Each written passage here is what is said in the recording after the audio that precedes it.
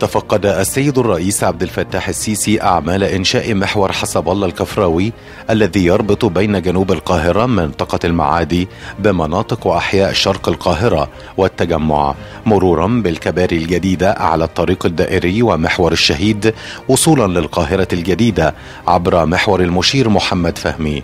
وقد حرص السيد الرئيس على التوقف أثناء الجولة التفقدية ليناقش العاملين والمسؤولين في مواقع العمل المختلفة بشأن تفاصيل الخطوات التنفيذية الجارية خاصة على كبر تقاطع منطقة زهراء المعادي مع الأوتوستراد موجها سيادته بسرعة انتهاء الأعمال قبيل حلول شهر رمضان المعظم. المنطقة اللي إحنا فيها دي يا فندم تم حفر أكتر من 200 ألف متر في تربة صخرية باستخدام المعدات الميكانيكية لتجنب النسف لوجود منطقة سكنية. طبعا. وتم ردم أكتر من 350 ألف متر مكعب باستخدام أعلى معايير الجودة. طيب إحنا هنخلص إمتى؟ إن شاء الله يا فندم خلال شهر ثلاثة يعني قبل رمضان. إن شاء الله مش كده؟ إن شاء الله. خلصنا اللوبات وكل شيء. والرمبات بجميع الأعمال التكميلية. حتى امتداد القمر الصناعي خلص. خلص. يعني كده هيبقى المحور انتهى تمام. إن شاء الله يا فندم هي نقطة الربط على طريق الاستيراد. هل أنتم شايفين في حاجة تانية؟ ممكن تيسر للمنطقة هنا الحركة بتاعتهم.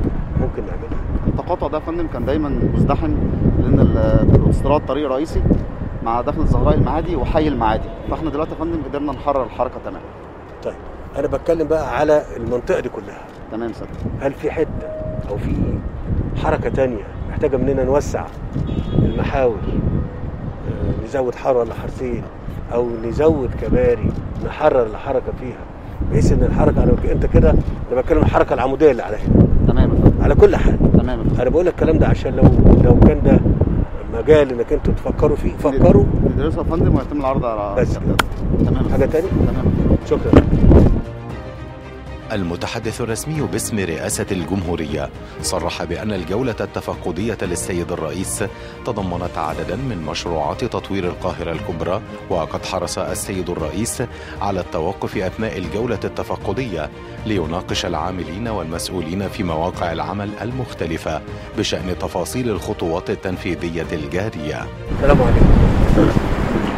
محور حسابات كفراوي بيبدأ من صينية القمر الصناعي. مرورا بتقاطعه مع محور الاستراد ومرورا بمنطقة زهراء المعادي. ويتقاطع مع محور ال- الطريق الدائري على كوبري اللي سيادتك مشرفنا عليه يا فندم. وبينتهي عند نفق الاسمرات يا فندم. المحور ده يا فندم بياخد القادم من مناطق جنوب القاهرة والقادم من حلوان وطريق السيد الحر. وبيربطه مع شرق القاهرة في اتجاه العاصمة الإدارية. عن طريق عدة محاور يا فندم. المحور الأول محور الدكتورة سميرة موسى. المحور ده يا فندم بيبدأ من نفق الأسمرات وبيتقاطع مع محور الشهيد ومحور المشير محمد علي فهمي ومحور اللواء عمر سليمان ومحور المشير طنطاوي حتى شارع جمال محمد علي.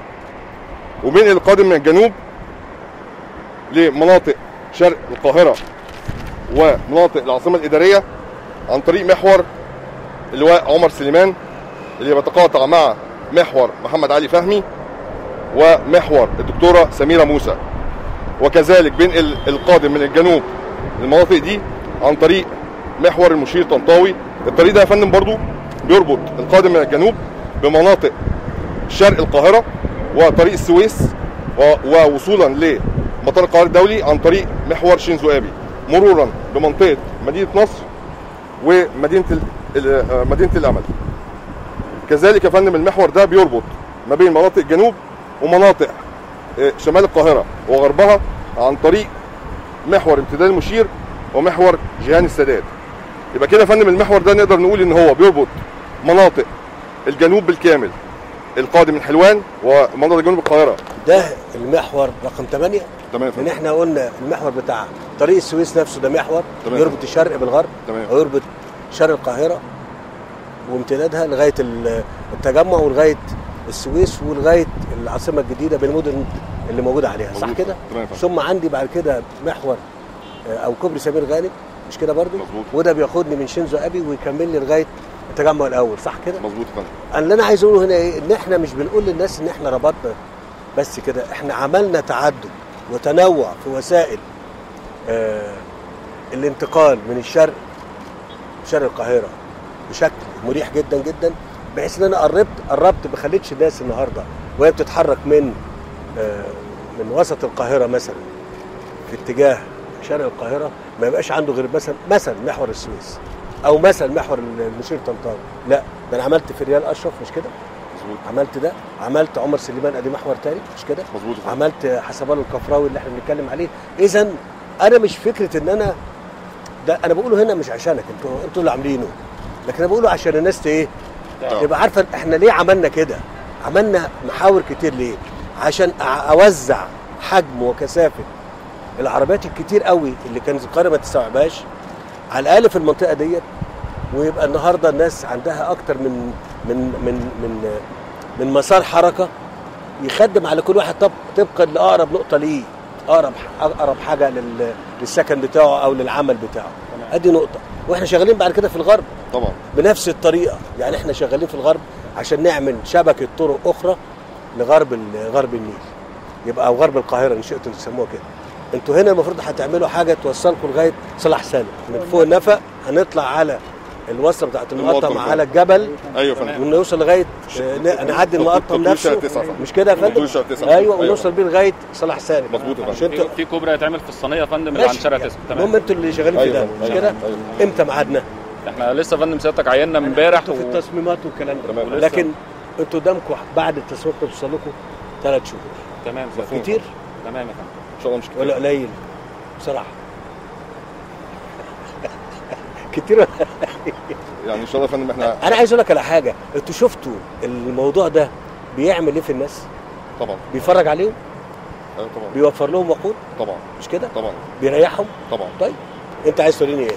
بننفذ يا فندم. الأعمال الصناعية على المحاور الرئيسية لتحرير التقاطعات يا فندم على ال- المحاور. محور سيادتك حسب الله الكفراوي إحنا نفذنا عليه يا فندم. 6 كوبري ونفق تم تنفيذ كوبري أعلى الاوتوستراد يا فندم وده بيحقق ربط كامل مع آه، طريق الاوتوستراد ثم تم تنفيذ يا فندم ثلاث أعمال صناعية نفق واثنين كوبري لتحرير الحركة مع الطرق الداخلية بمنطقة زهراء زهراء المعادي يا فندم.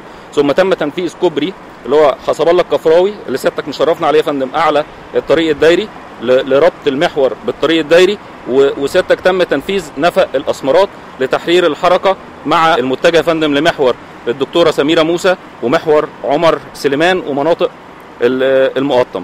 آه، سيادتك محور آه، الدكتورة سميرة موسى فندم ده عليه أربع كباري يا فندم. في كوبري بيحرر الحركة مع محور الشهيد وده بالفعل يا فندم منفذ وجاري آه، العمل بثلاث بثلاث كباري لتحرير الحركة مع محور آه، المشير محمد علي فهمي ومحور عمر سليمان ومحور المشير طنطاوي.